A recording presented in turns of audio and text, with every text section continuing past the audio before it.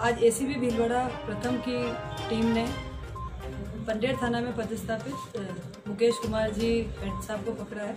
सात हज़ार रुपये की रिश्वत राशि लेते हुए आज वो पकड़े गए हैं। उससे पहले सत्यापन के दौरान भी उन्होंने तीन हज़ार रुपये क्रॉस केस में मारपीट के मुकदमे में मुजिमों मुलजिमों के नाम निकालने के लिए रिश्वत राशि मांगी थी।